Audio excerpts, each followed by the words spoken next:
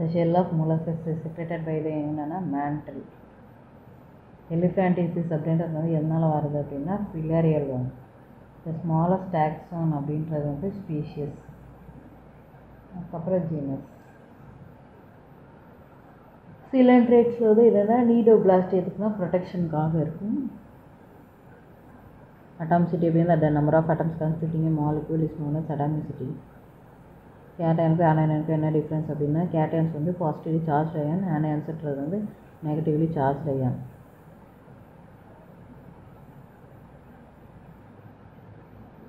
Force என்னென்ன எப்படி define பண்ணலாம்னா மாஸ் இன்ட்டு ஆக்சிலரேஷன் டிஃபைன் பண்ணலாம். செல்லின் ஆற்றல் நிலையம் அப்படின்னா மைக்ரோகாண்ட்ரியான்னு சொல்லுவோம் அப்புறம் ரைபோசோம் அப்படின்றது வந்து சொசர்ப்பான எண்டோபிளாஸ்டிக் வ வலைச்சம் அதோட வந்து ஜாயின் பண்ணுது.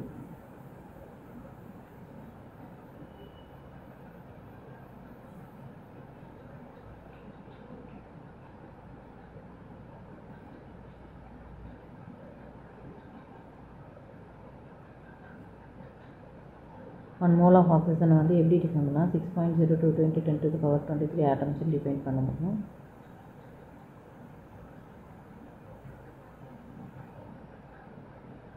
இன்ட்ராசவுண்ட் ஃப்ரீக்வன்சி அப்படின்னும் போது என்னென்னா டுவெண்ட்டி ஹர்ட்ஸ் கீழே இருக்கிறது இன்ட்ராசவுண்ட் ஃப்ரீக்வன்சி அல்ட்ராசவுண்ட் ஃப்ரீக்வன்சி வந்து எப்படி இருக்குன்னா டுவெண்ட்டி தௌசண்ட் ஹர்ட்ஸுக்கு மேலே இருக்கும்.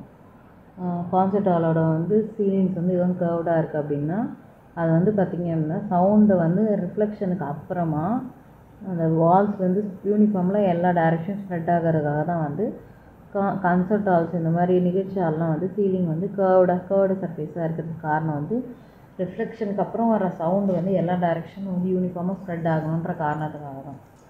ஆடிபிள் ரேஞ்ச் வந்து நம்ம ஹியூமன் இயரில் வந்து பார்த்திங்கன்னா டுவெண்ட்டிலேருந்து டுவெண்ட்டி ஹர்ட்ஸ்லேருந்து டுவெண்ட்டி தௌசண்ட் ஹர்ட்ஸ் வரைக்கும் இருக்கும். அதுக்கப்புறம் வர இருபது ஹர்ட்ஸு கீழே இருக்கிறதும் கேட்க முடியாது. இருபது ஆயிரம் ஹர்ட்ஸுக்கு மேலே இருக்கிறதையும் நம்மளால் கேட்க முடியாது.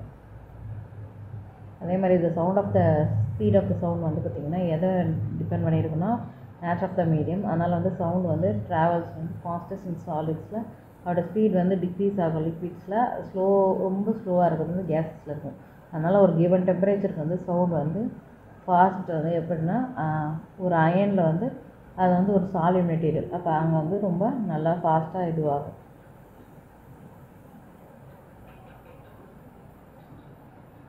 லவுட்னஸ்க்கும் இன்டென்சிட்டி ஆஃப் த சவுண்டுக்கும் என்னென்னா இன்டென்சிட்டி ஆஃப் த சவுண்ட் வந்து எப்படி டிஃபைன் பண்ணலாம் அப்படின்னா amount of sinus sound energy passing through unit per area per second loudness அப்படின்றது measure of the response of the ear to be through the sound the loudness of the sound வந்து எப்படி டிஃபைன்னா amplitude define பண்ணலாம். Amplitude of sound வந்து பார்த்திங்கன்னா decide it intensity அதாக தான் வந்து நம்ம காரில் வந்து லவுட்னஸ் அப்படின்னு சொல்கிறோம் சவுண்டில் வந்து பார்த்திங்கன்னா ஸ்பீடை வந்து எப்படி எப்படி எப்படி அளப்பாங்கன்னா வேவ் ஃப்ரீக்வன்சின்னு வந்து டிஃபைன் பண்ணுவாங்க. சவுண்ட் வந்து எப்படி ப்ரொடியூஸ் ஆகுதுன்னா வைப்ரேஷனால் ப்ரொடியூஸ் என்னுடைய body vibrate it forces the neighboring particles the medium to vibrate it is create a disturbance இந்த மீடியம் இட் ட்ராவல்ஸ் இந்த ஃபார்ம் ஆஃப் த வேவ்ஸ் அதனால் அந்த டிஸ்டர்பன்ஸ் தான் வந்து நம்ம காரில் வரும்போது சவுண்டாக ப்ரொடியூஸ் ஆகுது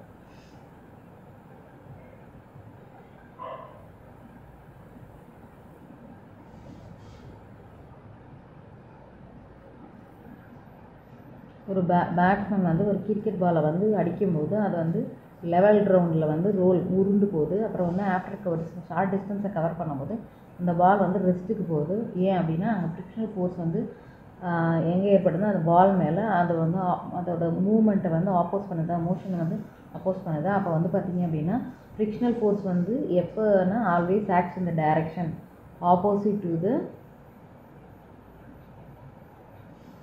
direction of the motion அதனால் வந்து ஃபோர்ஸ் அப்படின்றது வந்து எதுக்குன்னா responsible for stopping the cricket ball அதுதான் வந்து காரணம்.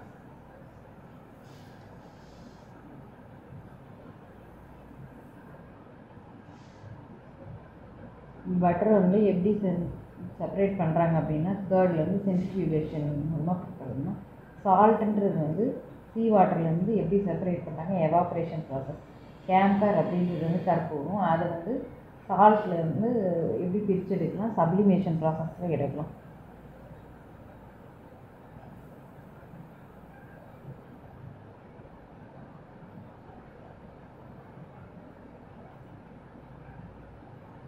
ஏன் வந்து நம்மளால் வந்து ஆட்டம் வந்து நம்மளோட நார்மல் ஹைஸால் பார்க்க முடியாது அப்படின்னா ஆட்டமோட டைமென்ஷன் வந்து ரொம்ப எக்ஸ்ட்ரீம்லி ஸ்மால் அதே மாதிரி கிட்டத்தட்ட நேனோமீட்டர் அந்த அந்த ரேஞ்சில் இருக்கும். ஸோ நம்ம நார்மல் கண்ணால் பார்க்க முடியாது. ஒரு அட்டாமிக் மாஸ் யூனிட் அப்படின்றது வந்து என்னென்னா அட்டாமிக் மாஸ் யூனிட்டை வந்து என்னென்னா mass unit equal to the exactly one twelfth of the mass of a carbon twelve atom it is used to measure the masses of the subatomic particles அதை தான் வந்து என்னென்னா டினோட்டட் ஆஸ் ஏஎம்யூ அப்படின்னு denote பண்ணுவாங்க.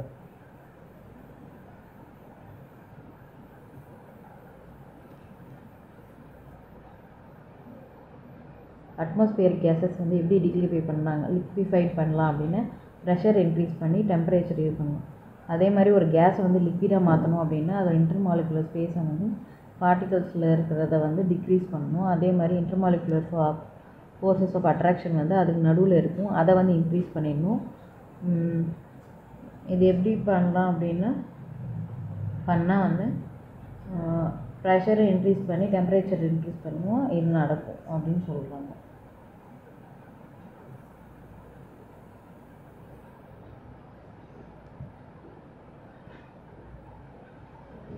ஒரு change of ஸ்டேட்டில் வந்து temperature வந்து கான்ஸ்டண்ட்டாக ரிமைனாக இருக்கும்.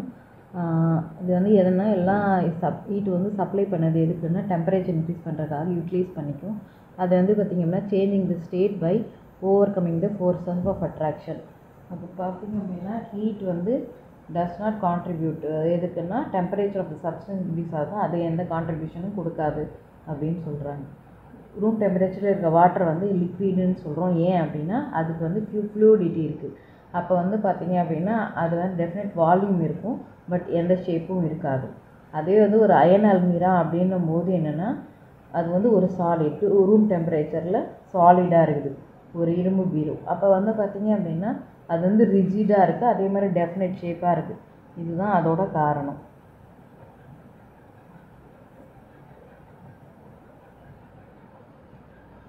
Smell of the hot sizzling food வந்து எப்படின்னா தூரத்துலேருந்து இருந்தாலும் பார்த்திங்க அப்படின்னா அது வந்து காற்றுல பரவுது. என்ன அப்படின்னா ஸ்மெல் ஆஃப்